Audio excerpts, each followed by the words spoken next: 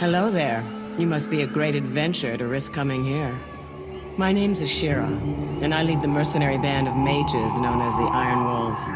We've been hunting down demons in the jungle for months, but no matter how many of them we kill, they just keep coming. Seems this whole place has been overrun by evil. Rumor has it that you've come here to help. If that's true, then I'll let you hire some of my mercenaries. But Be careful. You piss them off, they can be worse than those monsters out in the jungle.